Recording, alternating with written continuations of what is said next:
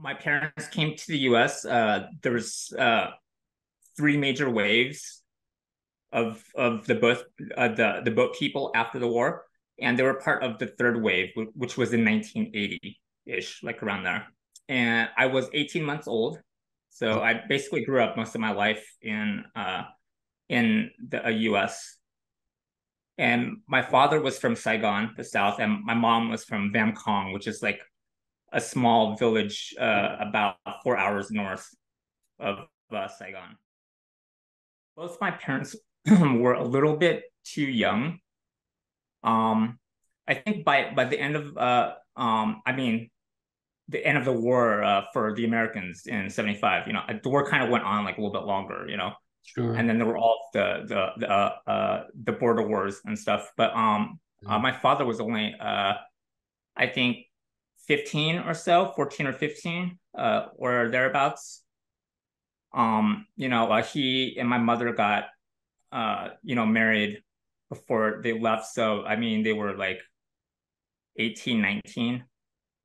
So they, uh, so my dad didn't have any um, direct uh, participation in the war, but of course, being from like Saigon, you know, uh, he had plenty of uh, more immediate family members who were involved, you know, some as mm. uh, commissioned officers, like as well.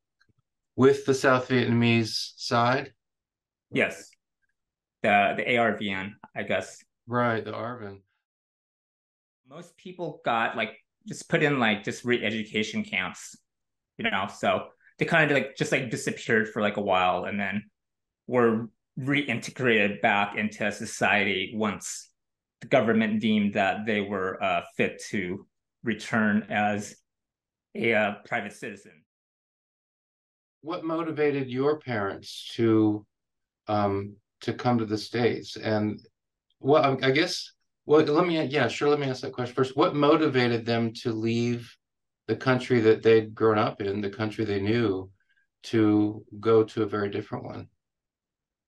I remember one thing um, my parents talked a lot about growing up was uh, after the war, like life became very difficult for for South Vietnamese, especially people living in Saigon, mm-hmm. because mm-hmm. one of the first things that uh, the um, the new communist government did when they came in was to, to better manage uh, uh, Saigon, which I think at that time was something like three million people they uh, they forcibly like relocated a mass number of of the people that were living in Saigon. So like uh, you know, um, one of the things uh, my father always told me was uh, he, at that time he was a teenager, you know, at the fall of uh, Saigon, so he was there when when it happened, and uh, he would tell me uh, that after you know the fall of Saigon, uh, you know, in in those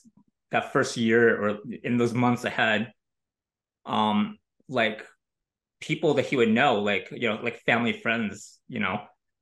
He'll be playing with his friends like one day just hanging out and you know and the next thing you know like their entire family got like relocated you know without knowledge beforehand really. So like he lost a lot of friends that way uh growing up and he had no idea you know. But uh but the main one of the main factors was uh, because I was born, mm-hmm.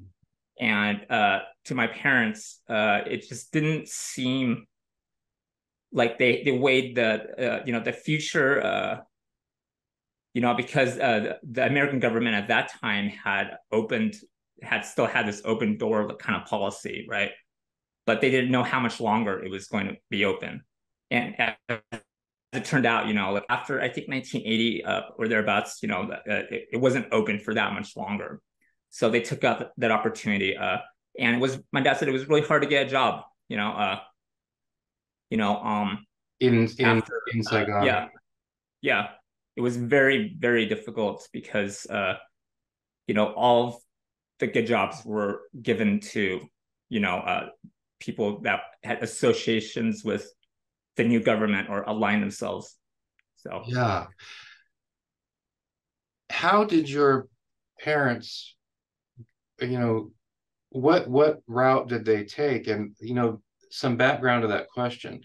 When I was in the Navy, I think this was in 1988, I think, I was on an aircraft carrier and um, we just got word that a ship was sinking, you know, relatively close by. So we went out and our helicopters and others aboard the carrier, you know, got these people off the sinking ship. And it turned out that they were Vietnamese boat people. That was the term used at that time. Typical, you know, 19 year old kid. I didn't really pay much attention to it and didn't think think very much about it. I mean, you know, I noticed it at the time, and that's kind of interesting, but didn't think much about it. But you know, there were these folks out in the middle of the Pacific Ocean, and they would have died had not by, you know, circumstance, the this um, aircraft carrier been close enough to to find out what was going on and to rescue them. And I know that a lot of Vietnamese who fled the country did die. Their ships sank and they went down in storms and things like that. So um, for many, it was an extremely dangerous journey. Um, how about your parents? What what route did they take? How did things go for them? Yeah, so um, from both my father's side and my mother's side, they were uh, uh, the only ones to actually leave. So you know, I, I have very uh, limited knowledge of my relatives beyond my parents. Like you know, I've I hear stories about their grandparents, but you know, uh, and you know, all of my uncles and aunts and stuff. Like I, you know, it's uh, in in the U.S. It's just me, my brother, and my parents, and we kind of form. I mean, that's just the family that I know. Um, so when they left, I, it was like with many other uh, uh, boat people that that left. Uh, they they paid like a, a kind of a guide, right? And lots of you know these guys were like in it for for the money. So they were taking these basically like river fishing boats out to sea which is not a good thing you know? Mm-hmm. and you just jam them with as many people as possible. So um i think my parents got got very uh, uh lucky. They were only out at sea for two days um before they were picked up uh in international waters. And then they got put in a refugee camp. I've got this uh, great photo of them on like the white sand beaches, you know, and I was, you know, like really young, uh, 18 months, I, I guess. Wow. But uh, yeah. And and and from there, uh, uh, they were given the option. Uh, my father says uh, they were given the option of going to Canada like right away, or they could wait to try to get into the US and you know and my my father's favorite TV show when he was growing up in Saigon was uh, Bonanza you know because uh, the US servicemen would get all these western TV shows so he grew up on like things like Bonanza, you know. So he was like, "We're going to the U.S. You know, I don't, you know, we can wait in this refugee camp for however long." Turns out it was like six months, you know, but uh, yeah. So, so uh, and that's, and it got very lucky, you know, uh, yeah. because during that time, those waters were infested with uh, pirates, you know. People don't think about piracy in like the 20th century, but man, like that area was notorious and it was they would board those ships and just like just start robbing people and killing people and yeah I've heard um, I've heard of reference a lot of references to pirates from Thailand, especially. Yep. And um, yeah, they, they were usually from uh, Thailand. Where did your parents settle in the states? Yeah, um, so they initially got like sponsorship. Uh, they came in to the states, um, I believe through uh Seattle but they ended up in uh, Pasco, Washington. No, it's in Eastern Washington. It's very like rural and agricultural.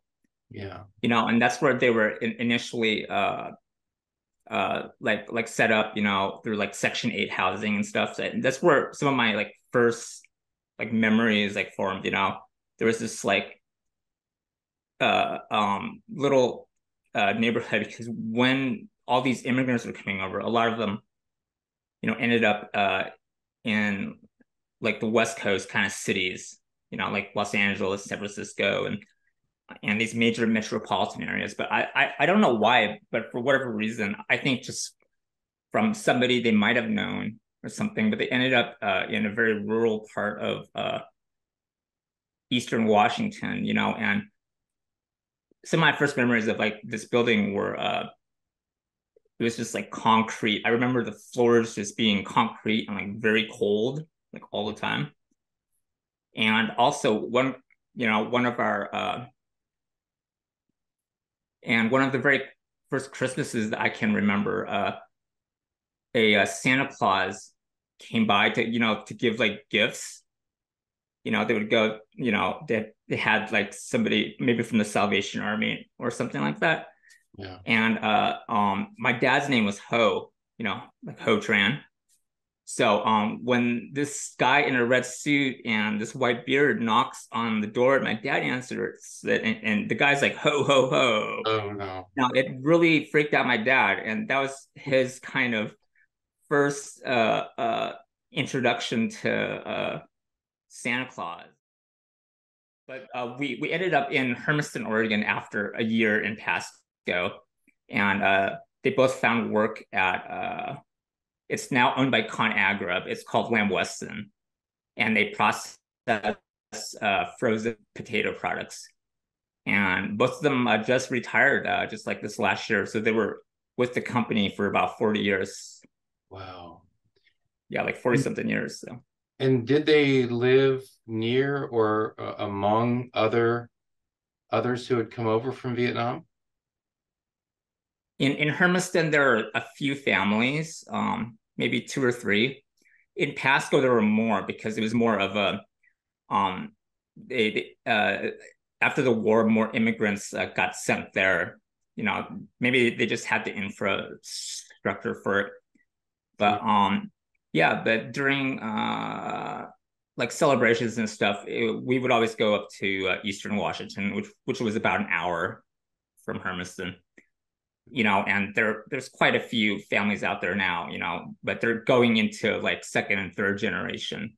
Sure. So, yeah. Yeah.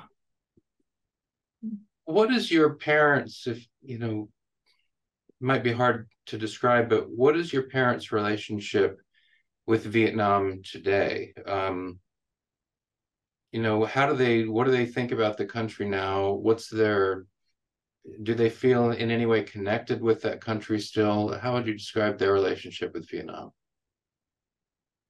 Um, yeah, I, I still think they're uh, they're they're connected to it. Uh, I mean, they, they still have family there, you know. Um,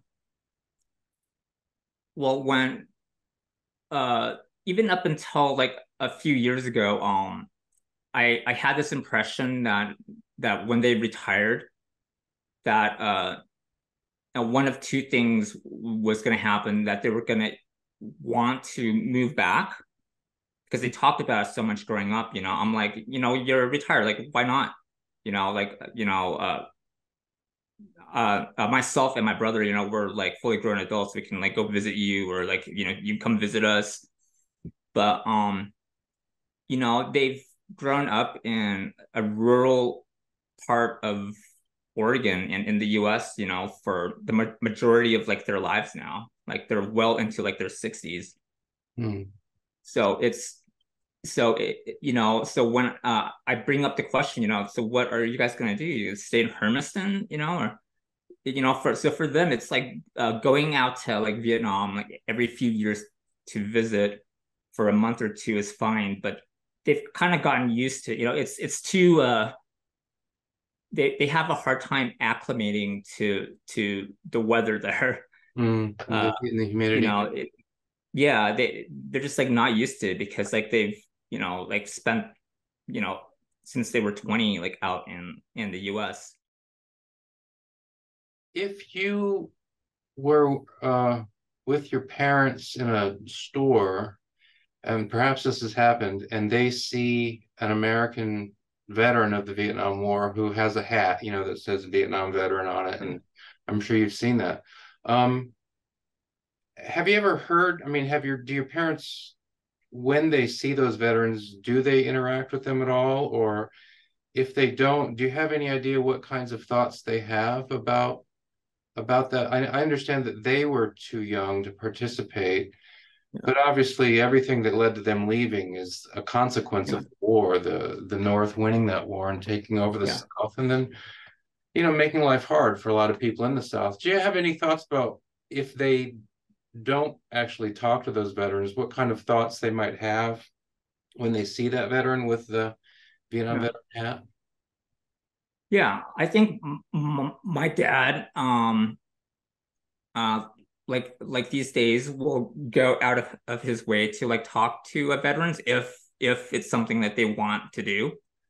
You know, um, yeah, you know, he he uh he's always like curious uh, about the kind of stuff. Um, I I think uh, when we were younger and when he was younger and when all of like the vets were considerably younger, it, it was different, you know. Um, definitely people would like look at us uh, like a certain way, you know, and also, you know, you, you always take like kind of parents like warnings like about, you know, like like little things, you know, It just be like, hey, you know, you know, if you see like these people just kind of like stay out of their way, you know, don't don't try to like cause trouble or you know say anything that that might make them do something like i don't know what you know because as a kid you just like listen to your parents but you know but i think as um you know that war generation has has uh, gotten older you know there is more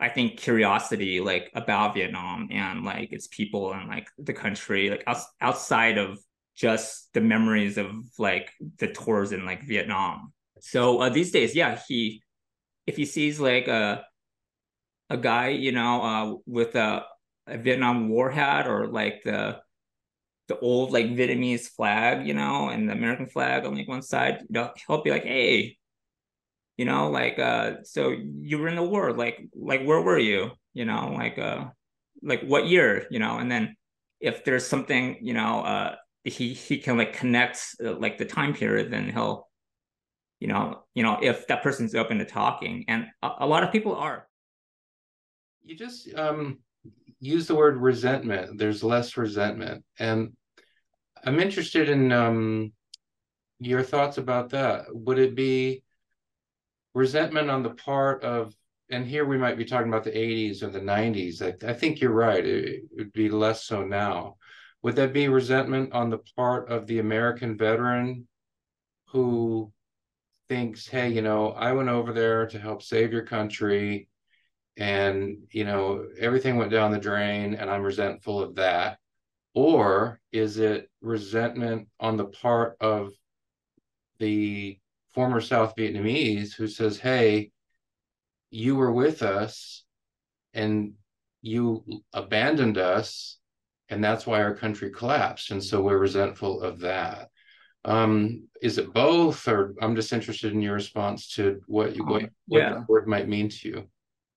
Yeah, I, you know, like I obviously can't uh, speak on on behalf of, uh, you know, um, either American vets or like uh you know the boat people that sure. that that came over. Like I don't think m- my parents had any kind of uh, resentment, you know, like um because I mean they were younger. They also had didn't have direct particip- participation in the war, but um I mean they were there when like all of it was going on. Um yeah, you know, uh, I I can see the the resentment, you know, there's uh, at least some level on on like both sides. Uh, you know, um, in uh, Missoula, Montana, where I lived off and on for more than twenty years, there's a substantial Hmong population.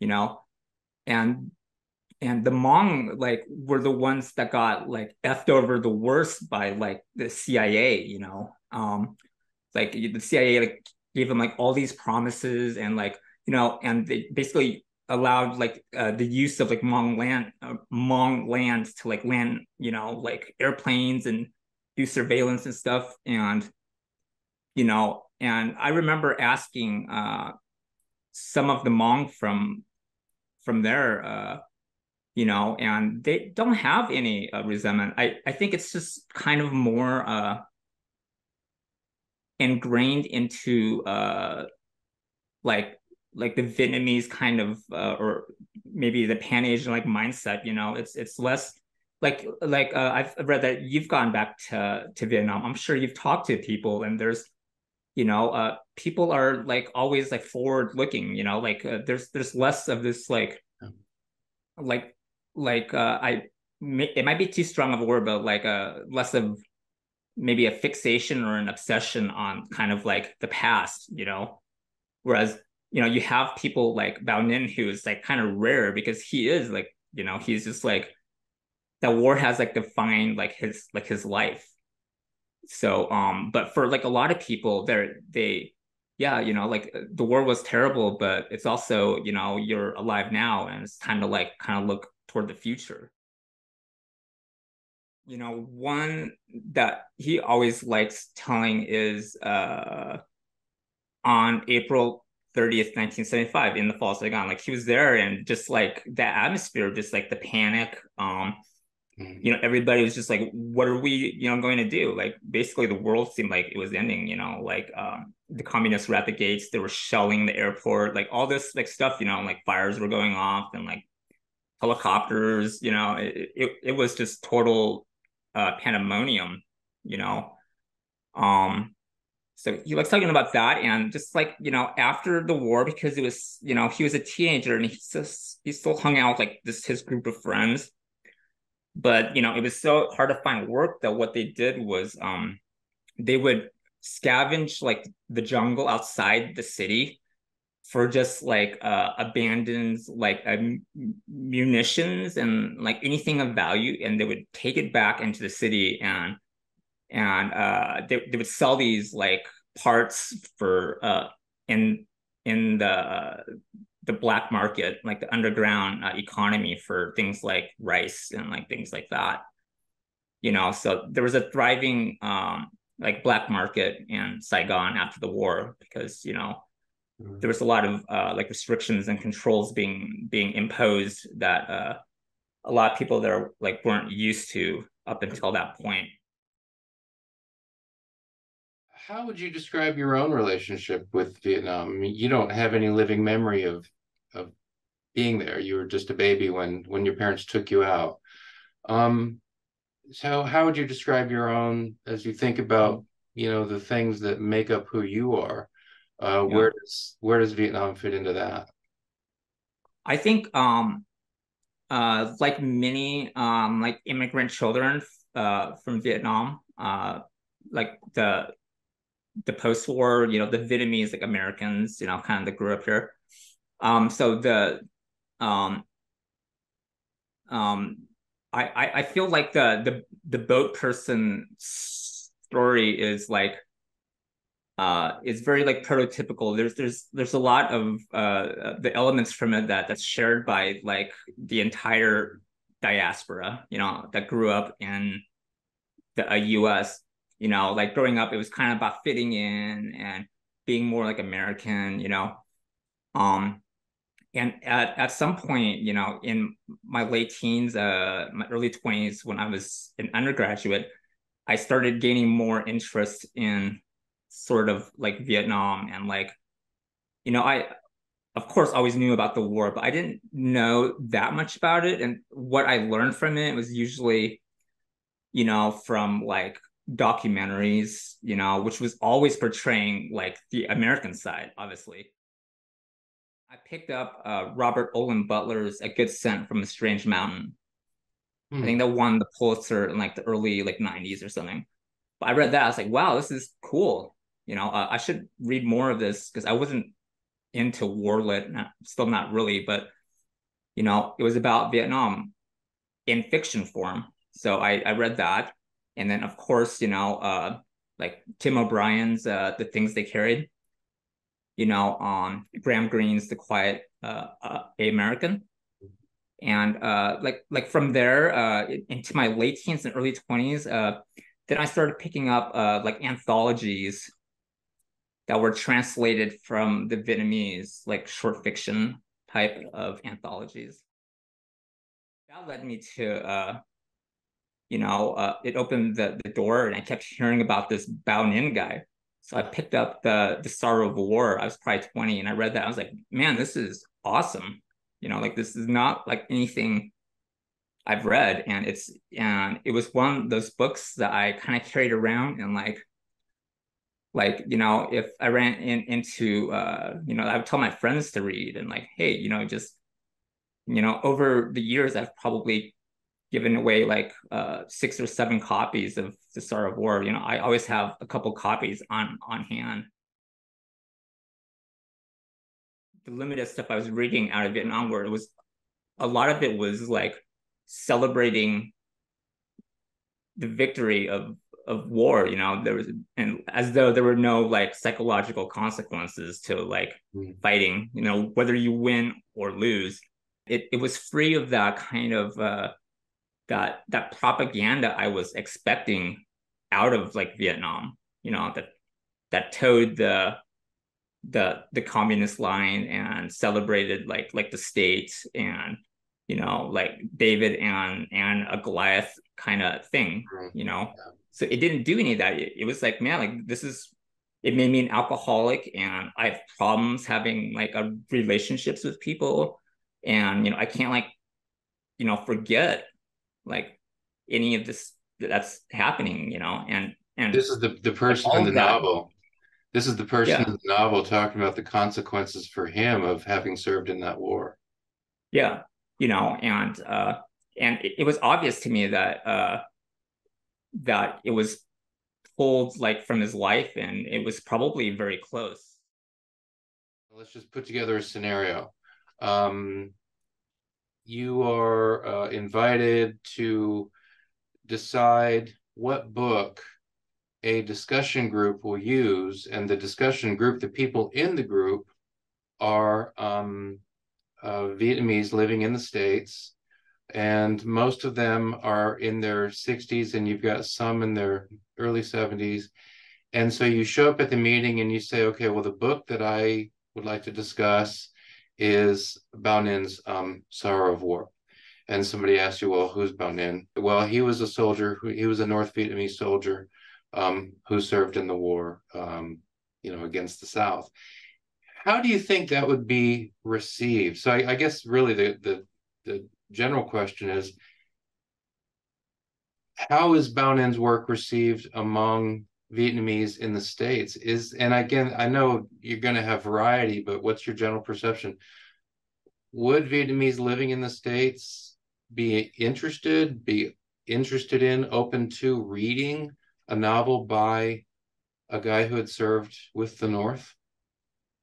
If if I were to show up uh, uh, in to a book group uh, of people in their 60s and 70s um, um, who were uh, former boat people that escaped Vietnam.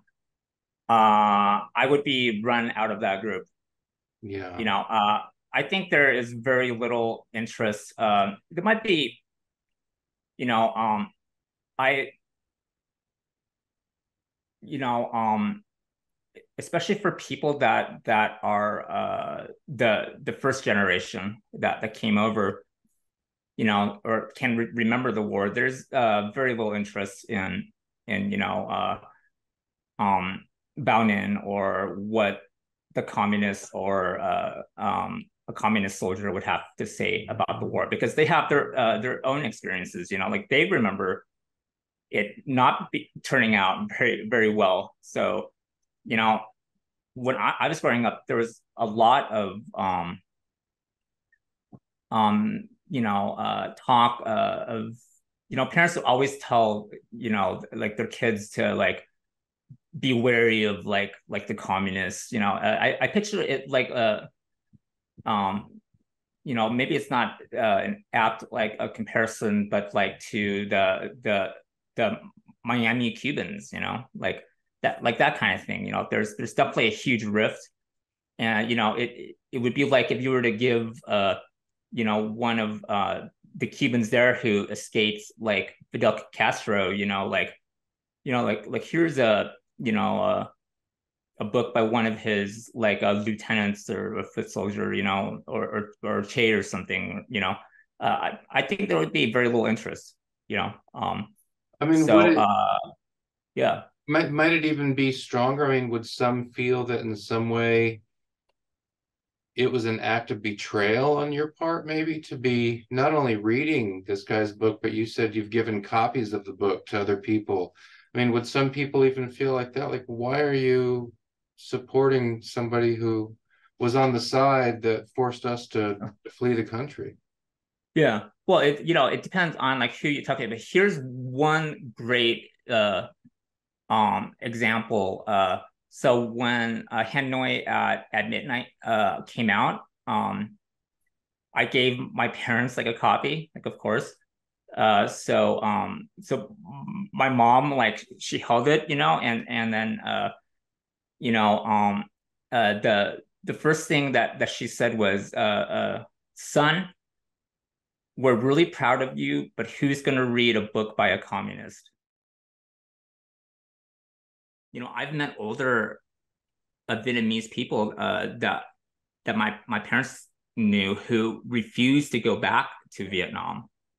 You know, um, that they came to the U.S. and they plan on on dying here in the U.S. because as soon as they left, they were like, you know, like this this country is is no longer mine. You know, it's it's not. It's never going to be the way that it was. You know, so mm. I'm so I'm not going to go back. Let's change the scenario. And so now you've been asked to um, select a book um, that will be discussed by a group of American Vietnam vets. And so you select, uh, you you bring Bao Ninh Sorrow of War, and then you also bring the collection of short stories, um, Hanoi at Midnight. And you say to the group of American Vietnam vets, you know, I recommend that we discuss one of these two books by this um, man who served with the North Vietnamese Army um, in the war. Um, and I imagine some American vets would be quite open to that. Um, perhaps others, um, you know, would would would not be open to that. But if the question is, you know, well, why why would an American war veteran want to read something from a North Vietnamese soldier. What could an what could an American war veteran get from that? How do you suppose you might respond to that? Bao Ninh, uh, uh, first and foremost, you know, uh, if if you take away the the the communists, like you know, I I know it's like it it can overshadow everything, you know.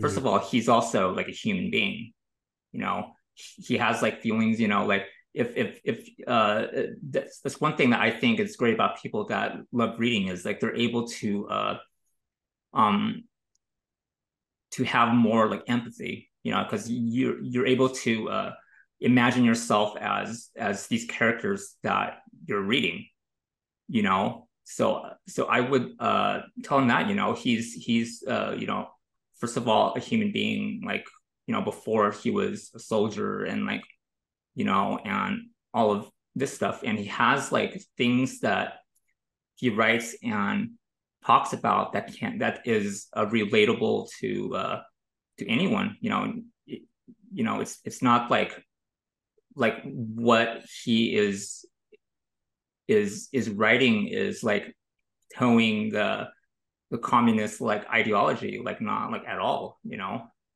Mm. Yeah, you you you've yeah. said. I mean, I, I think his his work has been banned at different times, right? The government of Vietnam has banned yeah um his work, right? Yeah, yeah. The the first uh the Sorrow of War was banned for something like 17 years.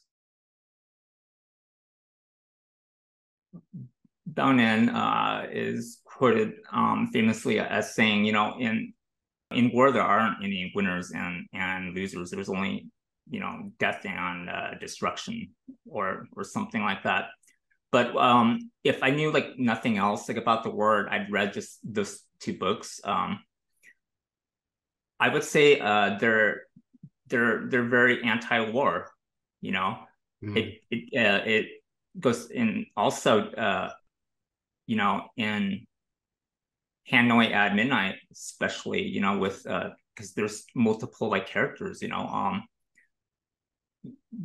you see that even in times of war, you know, like people still have to like go on like living like their lives, you know, they still want and desire like like the same things, you know, they want companionship, they want, you know, to develop friendships, they want to make sure uh their kids are doing okay. And all these these things uh, th- that regular human beings like want and desire and need you know it doesn't change in times of war